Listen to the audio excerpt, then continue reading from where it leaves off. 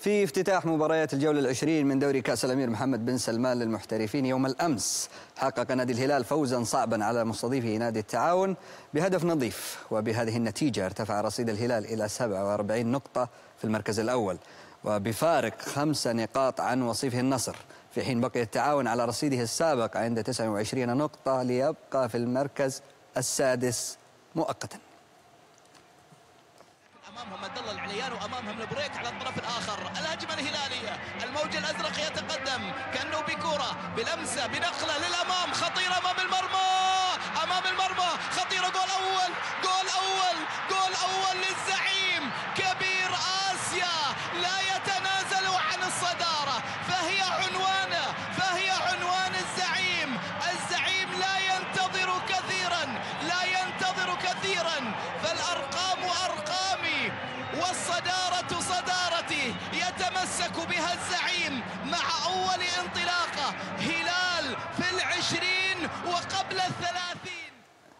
في ثاني مباريات الجولة العشرين من الدوري السعودي يوم أمس أنقذ البرازيلي جوليانو قائد النصر ناديه من خسارة محققة أمام ضيفه الأهلي في المواجهة التي انتهت بالتعادل الإيجابي بهدفين لهدفين. وبهذه النتيجة ارتفع رصيد النصر إلى 42 نقطة ليبقى في المركز الثاني بفارق خمس نقاط عن المتصدر الهلال. وارتفع رصيد الأهلي إلى 34 نقطة ليبقى في المركز الثالث أيضا مؤقتا. نتابع.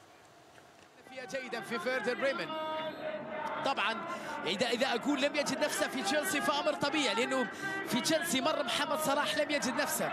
مر دي بروين ولم يجد نفسه. هذه كرة ثابتة تلعب عرضية محاولة بالراس. أوه!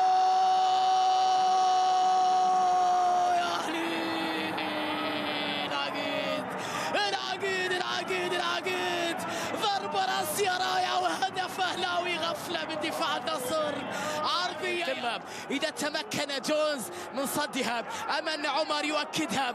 شوط أول أهلاوي. ننتظر وإياكم عمر أمام جونز. عمر من غير العقيد. من غيرك يا عقيد يا عمر؟ السومة الثاني للأهلي من علامة الجزاء. يا الله. علامة الجزاء كالعادة مر كالعادة مر. كالعادة مر. كرة عرضية باتجاه حمد الله بالراس. تحضير وجوليانو الله الله الله الله الله يا نصر الله. يا عالمي يا عالمي.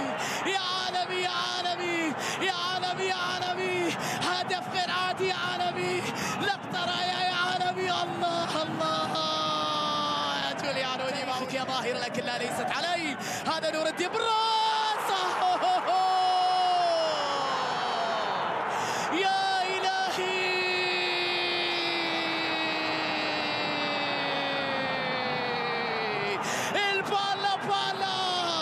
دي باولا العودة يا نصر.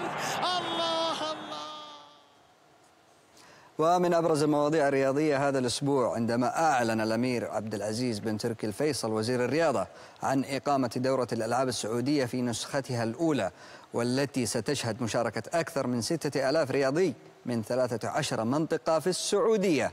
وذكر وزير الرياضه الفيصل خلال المؤتمر أن هذا الحدث الرياضي يضاف إلى سلسلة الأحداث التي نظمتها السعودية في تاريخها كما كشف أن الدورة الألعاب السعودية سيجتمع فيها أكثر من ستة ألاف رياضي من ثلاثة عشر منطقة مختلفة في السعودية كما ستكون جوائزها مليون ريال لكل فائز بميدالية ذهبية أولمبية وثلاثمائة ألف ريال للفضية ومائة ألف للبرونزية. يسرني أن أعلن عن إطلاق النسخة الأولى من الحدث الرياضي الأكبر في تاريخ المملكة العربية السعودية دورة الألعاب السعودية.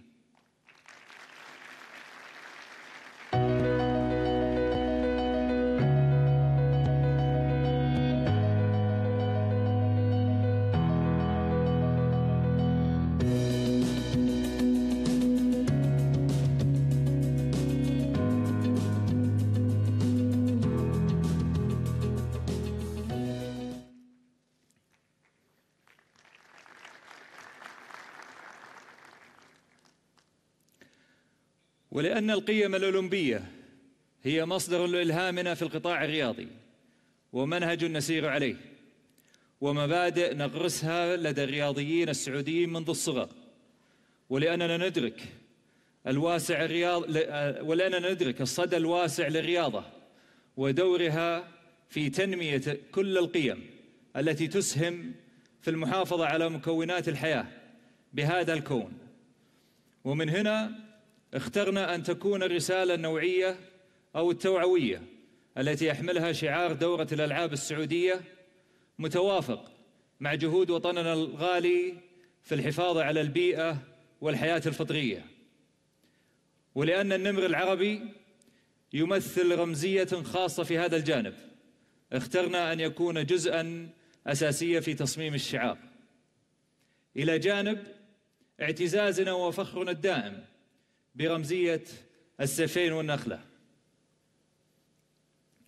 دورة الألعاب دورة الألعاب السعودية ستجمع في العاصمة في الرياض أكثر من 6000 رياضي. بدعم من أكثر من 2000 مسؤول فني وإداري. هذه وقفة مع مباراة الدوري السعودي لهذا اليوم.